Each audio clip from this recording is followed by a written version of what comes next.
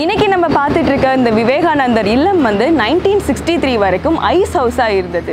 Ice ஹவுஸாக இருந்த இந்த இடம் விவேகானந்தர் இல்லமா பேர் எப்படி மாறுச்சு அப்படின்றத இன்னைக்கு நம்ம பார்ப்போம்.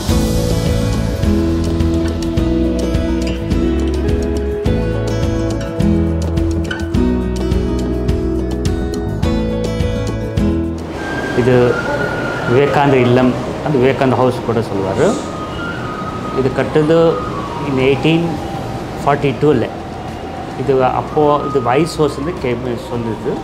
ஐஸ் ஹோஸ் வந்து இங்கே ஐஸ் ஸ்டோர் பண்ணிட்டு இருந்தார் அந்த those days there was no refrigeration system so they to import from America they store here அதுக்கப்புறம் இந்த eighteen ninety three eighteen eighty six வரைக்கும் இந்த ஐஸ் பிஸ்னஸ் பண்ணிட்டு இருந்தார் ஃப்ரெட்ரிக் ட்ரூடர் இருந்து இந்த ஐஸ் ஹவுஸில் இருந்து விவேகானந்தர் இல்லமா எப்படி மாறுச்சு அப்படின்றத இன்றைக்கி நம்ம பார்க்க போகிறோம் அதை நம்ம தெரிஞ்சுக்கணும்னா ஆயிரத்தி எட்நூறுகளுக்கு நம்ம ட்ராவல் பண்ணணும். அமெரிக்காவில் உள்ள பாஸ்டன் அந்த இடத்துல நியூ இங்கிலாண்டில் ஃப்ரெட்ரிக் டியூடர் அப்படின்ற ஒருத்தர் இருந்திருக்காரு.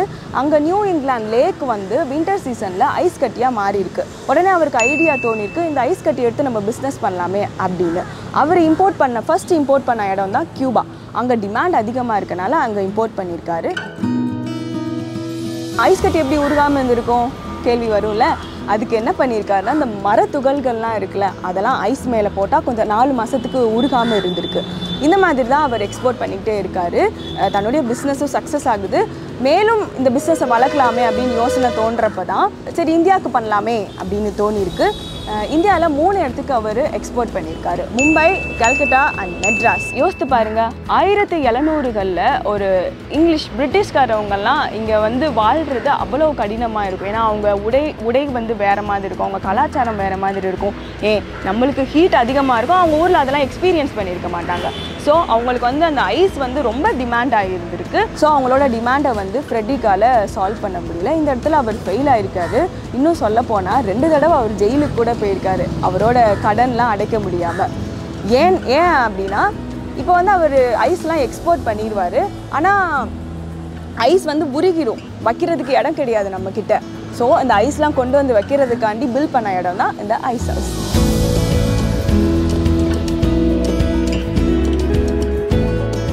இடங்கள்ல கட்டியிருக்காங்க மும்பை கல்கட்டா மெட்ராஸ். எஞ்சி இருக்கிறது மெட்ராஸ் இருக்க இந்த ஐஸ் ஹவுஸ் மட்டும்தான். ஐஸ் ஹவுஸ் எப்படி சுவாமி விவேகானந்தர் இல்லமாக மாறுச்சு? அதை சொல்கிறேன் எயிட்டீன் எயிட்டிஸ்லாம் ரெஃப்ரிஜிரேஷன் டெக்னிக் அப்புறம் இந்த ஐஸ் மேக்கிங் டெக்னிக்லாம் வந்தக்கப்புறம் இந்த ஐஸ் ஹவுஸோட ஐஸ் ஹவுஸ்க்கு வேலை இல்லாமல் போயிடுச்சு. ஸோ ஃப்ரெட்ரிக்கோட பிஸ்னஸும் டவுன் ஆயிடுச்சு. அதுக்கப்புறம் ஒரு லாயர் இருந்திருக்காரு. அவர் பேர் பிலிங்கிரி ஐயங்கார். அவர் இந்த இடத்த வாங்கிட்டார். அவர் யாருன்னா சுவாமி விவேகானந்தரோட தீவிர ரசிகர். எயிட்டீன் நைன்டி செவன் அப்போது சிக்காகோவில் சுவாமி விவேகானந்தர் சொற்பொழிவு ஆட்டினக்கப்புறம் இவரை இந்த இடத்துக்கு இன்வைட் பண்ணியிருக்காரு. யார்? நம்ம விழுங்கிரி ஐயங்கார். அப்படி ஒரு நைன் டேஸ் தங்கின இடம் தான் இந்த விவேகானந்தர். இல்லை.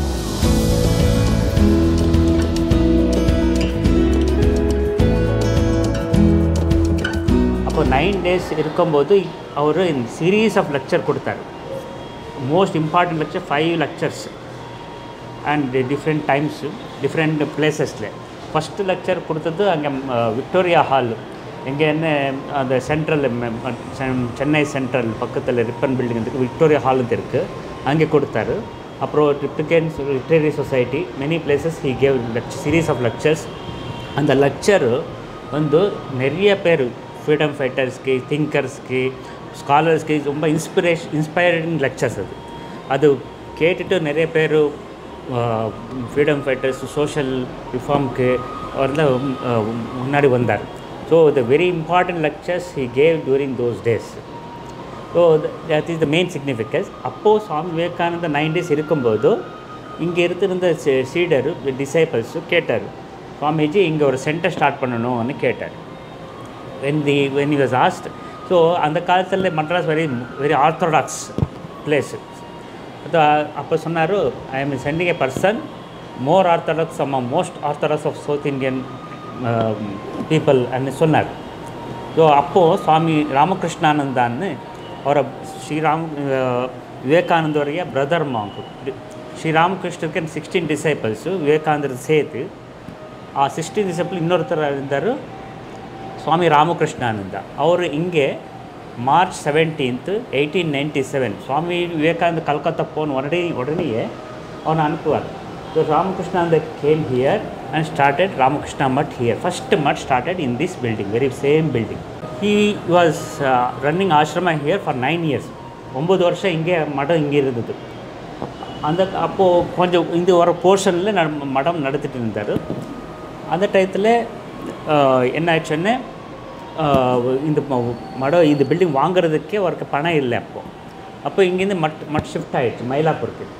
மெயின் மட்டும் அங்கே மயிலாப்பூர் ஷிஃப்ட் ஆகிடுச்சு இது இன் பிட்வீன் இங்கே நிறையா ஒரு விடோஸ் ஹாஸ்டல் நடந்துருக்கு sister Subbulakshmi was first south Indian become south Indian woman becoming graduate sister Subbulakshmi she was running hostel year இங்கே விடோஸ்க்காக ஹாஸ்டல் நடத்திட்டு இருந்தார் ஸோ அவரு கூட இங்கே விட்டுட்டு வேறு இடத்துல போயிட்டாரு then nineteen thirty here one more hostel was running in between and nineteen ninety till ninety two the hostel was there later on இது என்ன ஆச்சு கம்ப்ளீட்லி டெவலப்டட் கண்டிஷன் எதுவுமே ஃபுல் கம்ப்ளீட் அன்யூஸ்ட் ஆயிடுச்சு இன் நைன்டீன் நைன்டி டூ வரைக்கும் அப்புறம் nineteen thirty டூவில் இதை rename பண்ணார். ஃபஸ்ட்டு இதுக்கு நேமும் ஐசோஸ் இருந்தது. Later on on Biligiri Iyengar gave castle Kernan பேர் இருந்தது கேசல் கர்ணன் என்னத்துக்குன்னு விழிகிரை ஐங்கர் ஒரு friend very close friend justice Karnan so in his name he name it's கேசல் Karnan again in nineteen thirty அந்த நைன்டீன் தேர்ட்டியில்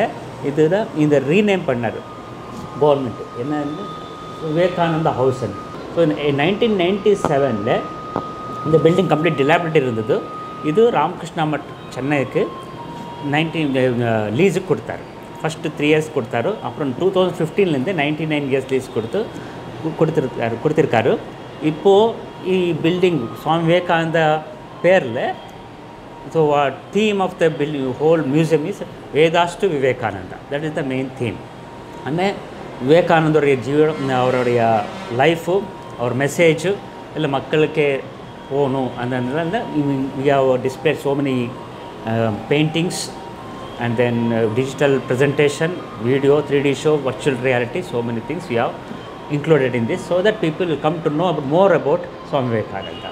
இப்போ இந்த விவேகானந்தர் இல்லத்தை அவ்வளோ க்ளீனாக நீட்டாக வச்சுருக்காங்க ஒர்க் பண்ணுற ஸ்டாஃப்ஸுமே அவ்வளோ பணிவாக பேசுகிறாங்க அரைஸ் அண்ட் அவேக் அப்படின்னு ஒரு ஹால்குள்ளே எங்களை கூட்டிகிட்டு போனாங்க. ஒரு ஃபிஃப்டீன் மினிட்ஸ் படம் போட்டு காமிச்சாங்க. சாதாரண ஒரு பையன் வந்து விவேகானந்தரா எப்படி மாறினா அப்படின்றத போட்டு காமிச்சாங்க. ஃபுல்லாக எஃபெக்ட்ஸ் வைப்ரேட் ஆகுறப்போ எங்கள் சீட்லாம் வைப்ரேட் ஆகுது புகை வருது. விவேகானந்தர் வந்து ஒரு மலையில நின்றுட்டு இருக்கப்போ காத்து அடிச்சுது அந்த காத்து எங்களுக்கு அடிக்கிற மாதிரி ஃபீல் ஆச்சு. அந்த மாதிரி ஃபீல் கிரியேட் பண்ணியிருக்காங்க. அப்புறம் முதியோர்கள் ஸ்பெஷலி சேலஞ்ச் பீப்புளெலாம் வந்து பார்க்குறதுக்காண்டி லிஃப்ட்லாம் வச்சுருக்காங்க. விவேகானந்தர் வந்து ஒன்பது நாட்கள் இங்கே தங்கியிருந்தார்ல அவர் எந்த அறையில் தங்கியிருக்காரு அப்படின்றதே எங்களுக்கு காமிச்சாங்க. அவர் எங்கே உட்காந்து மெடிடேஷன் பண்ணார் அப்படின்ற ஹாலும் உள்ளே இருக்குது அங்கே வந்து கேமராஸ் அண்ட் ஃபோட்டோஸ் எல்லாம் நாட் அலவுட் இன்னொன்று என்னன்னா விவேகானந்தர் வந்து நம்ம கூட பேசுகிற மாதிரி ஒரு ஹால் இருந்துச்சு. அதில் வந்து சிக்ஸ் கொஸ்டின்ஸ் இருக்குது அதில் எந்த கொஸ்டின் கேட்குறீங்களோ அதுக்கு அவர் ஆன்சர் பண்ணுவார். அந்த மாதிரி அவர் கூட பேசுகிற மாதிரி இருந்துச்சு ரியாலிஸ்டிக்காக இருந்துச்சு. மேலும் இங்கே என்ன ஒரு சிறப்புனா ஆன்கோயிங் கோர்சஸ் வேறு போயிட்டுருக்கு நிறைய பேர் வந்து படிக்கவும் செய்கிறாங்க விவேகானந்தரோட கல்ச்சர் சென்டர் ஒன்று இருக்குது அதே மாதிரி இங்கே ஒரு புக் ஸ்டோர் இருக்குது அங்கே நிறைய புக்ஸ்லாம் வச்சுருக்காங்க. விவேகானந்தரோட புக் உங்களுக்கு எது வேணுமோ அங்கே எடுத்து படிச்சுக்கலாம்.